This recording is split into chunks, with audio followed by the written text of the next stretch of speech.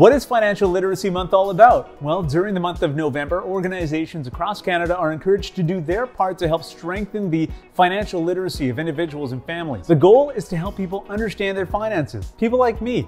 Here at Addy, we will be rolling out new content on the YouTube channel and other social platforms. So make sure you subscribe to the YouTube channel and follow along on our social channels. The links are in the description. So throughout the month of November, we'll be talking to a wide variety of professionals from financial advisors to realtors, and they will tell us why they believe financial literacy is important, as well as covering some interesting topics that aren't often talked about, such as the importance of talking about finances with your partner, introducing budgets to your kids, and what are your options when it comes to saving for retirement? These are some of the things that you may have thought about, but maybe you haven't done your research just yet. Hopefully, this series will give you the information you need to start your education process when it comes to financial literacy.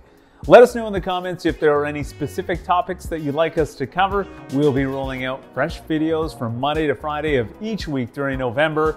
So subscribe to the channel and click the bell so you get an alert for every new video on the channel. Thanks for watching.